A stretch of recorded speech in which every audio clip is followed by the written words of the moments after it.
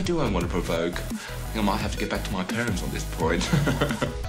Fashion's a bit of a problem with me because you have to really appeal to too many people and I like appealing to maybe one or two and then I like them to um, be interested in me but never dare copy me. Who would copy me, let's face it? I mean, who would be prepared to go out like this? I sometimes ask myself why I do it. Hi guys!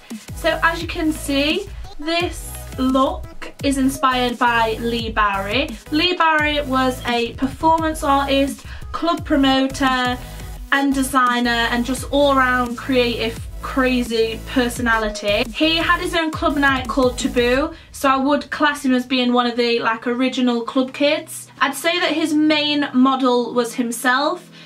I watched an interview where he said he would have a problem being a designer and doing a full range of clothing for other people to wear because he doesn't want people to copy him. So the fact that I've probably done this look inspired by him, he would probably not approve of, but he's such a legend that there's no way I'm not going to do a Leigh Bowery look. It's got to be done. Hi! So as you can see, I'm not wearing a wig cap or any makeup. I'm fresh faced because the first thing we're going to do is apply a bald cap. And this bald cap is from preciousaboutmakeup.com. To prep the hair ready to apply the bald cap, we need the hair to be as flat as possible. So I would completely wet the hair and add hairspray or gel, anything to get the hair as flat down to your head as possible. So this is pretty much what the standard bald cap looks like. This is the back and then I'm going to flip it over and show you the front. With my fingers placed on the inside of the bald cap, I'm just stretching it open slightly and pulling it over my head. It will take a while to adjust the bald cap. What you're aiming for is to have no wrinkles in it so it looks as smooth as possible and I would push a lot of the bald cap to the back so you can trim that off later. Now that the cap's in place, I need to cut holes out for my ears. I'm using a white eyeliner pencil to map out the shape that I'll be cutting. The shape that we're going for kind of looks as though you're drawing on a sideburn and then you just want to follow the inside of your ear and down onto your neck. I'm then using some really small scissors to cut this out you don't want to go in with some massive big scissors because you need to have a lot of control and it is next to your face so you need to be as careful as possible. Take your time when you cut in the ear. I would just cut upwards and just make a little slit and then because the cap is so taut it will pop up and your ear will just come out of it anyway. You don't want to cut too much of the ear away and have a big gaping hole there. To attach the bald cap and keep it in place, I'm applying spirit gum to the edges of the bald cap and then keeping them pressed down onto my face for a couple of seconds and that way it'll be stuck down securely.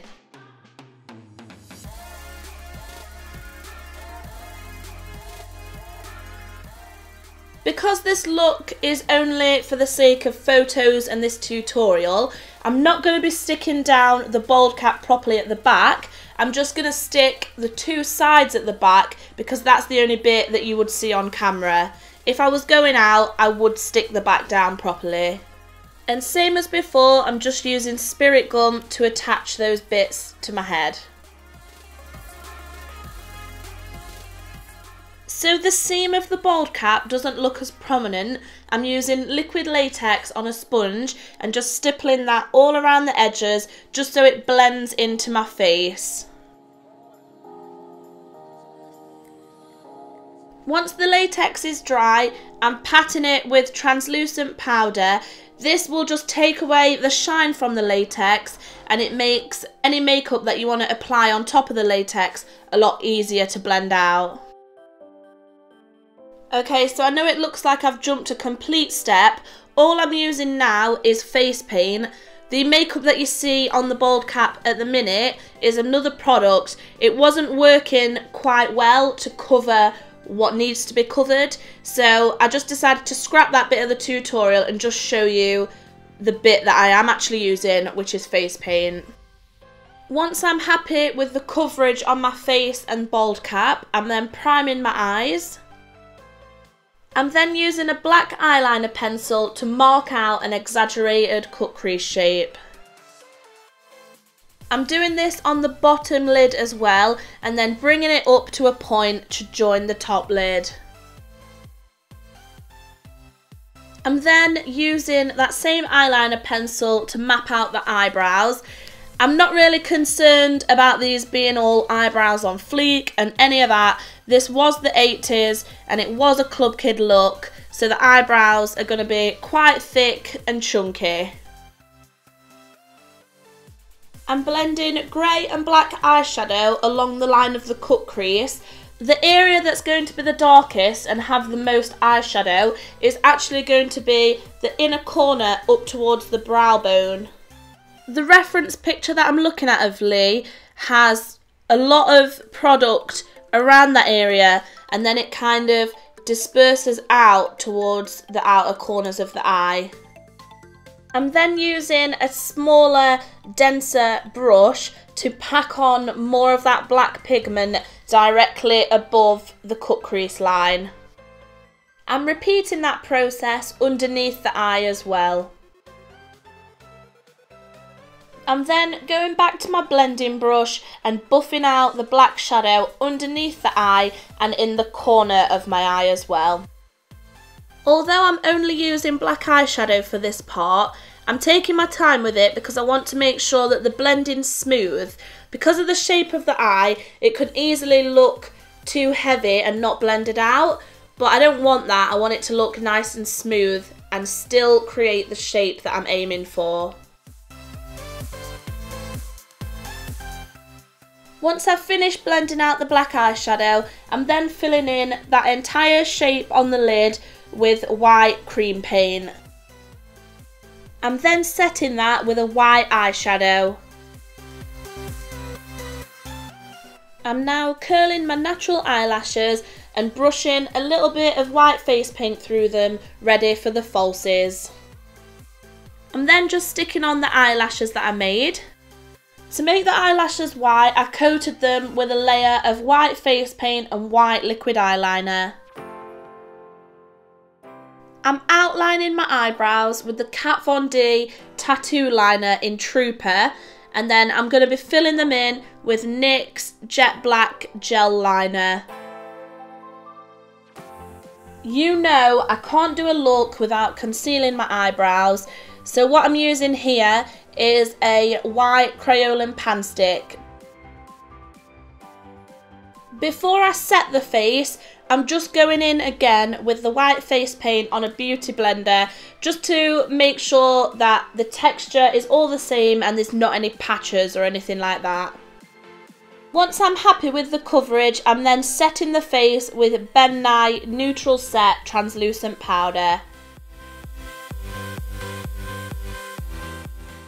I'm using Concrete Minerals Hi-Fi Pigment I'm starting out with the nose contour and then buffing it onto the cheeks. To make the blending smoother, I'm using Dolly Pop from the Sugarpill Pro palette. I'm then softening the edges of the pink shadow using my beauty blender with just a little bit of white face paint on it. I'm then going back in with the pink shadow and pigment I'm just kind of focusing this around the nose area because that's where the colour is brightest. Now I've got that shadow down on the cheeks, I can go back to the underneath of the eyes and blend out more black and grey. For the lips, I started out by outlining Leigh's lip shape using eyeliner and then I'm filling that in using Jeffree Star's Red Rum and Weirdo. I'm doing one colour at a time, so once Redrum has dried, I'm then going on to do the top lip with Weirdo.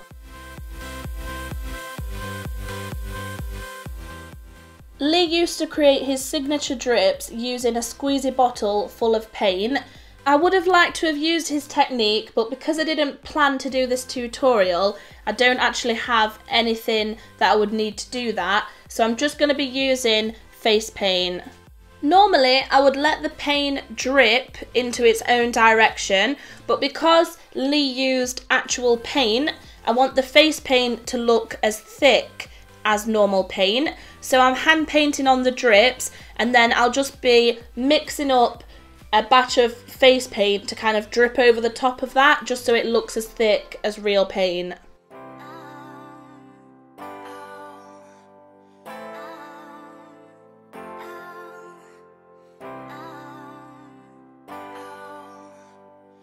I'm applying more paint towards the back of my head so it looks as though all the drips have come from that one point. Now it's time for the legendary black neck, which I'm all sure you've seen me do before, but I'm going to give you a little history lesson about black neck. Boy George's musical, Taboo, was set in the 80s and based on the new romantic scene at the time. Boy George featured Leigh in the musical and also did a few Leigh Bowery inspired looks at the time, which all included black neck. Leigh didn't strictly use black or black neck in all of his makeup looks. He used a different range of colours which created a signature Leigh Bowery face. Black neck is also common within the music industry. Um, people like Marilyn Manson, Motionless in White. It's very popular within like the metal and like rock genre of music. So now you know my inspirations behind Black Neck you can stop with the come on chin strap because these guys were all around a lot longer before Pearl. So now we've got that out of the way, let's get back to the tutorial and snatch this face with the black face paint.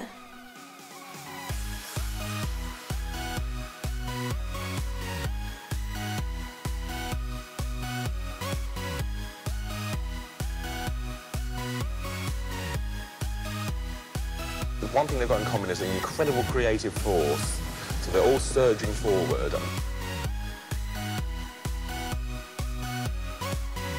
So nightclubs for me are just like a way of grading my um, sort of garments and, and me.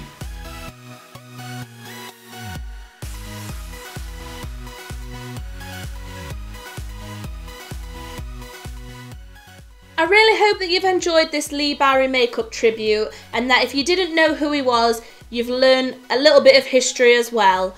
If you like the video, please give it a thumbs up and don't forget to subscribe to my YouTube channel. Thank you so much for watching. Bye!